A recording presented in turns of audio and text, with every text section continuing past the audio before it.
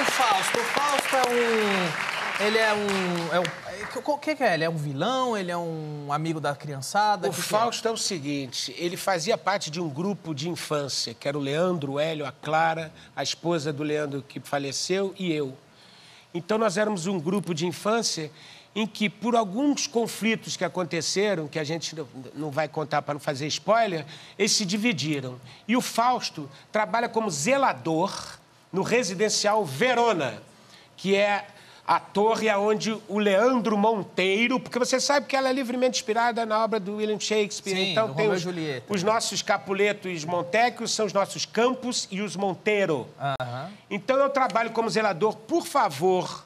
Mas é um favor também que tem uma coisa escondida aí, ele traz um segredo. Ah. Agora, o grande barato, Danilo, é que ele é um dramaturgo, ele é um ator.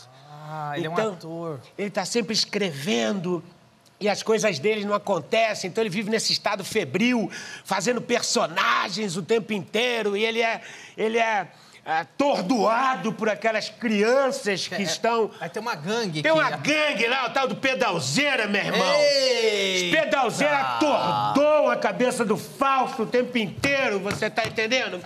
E aí eu fico louco porque eu fico querendo resolver as questões.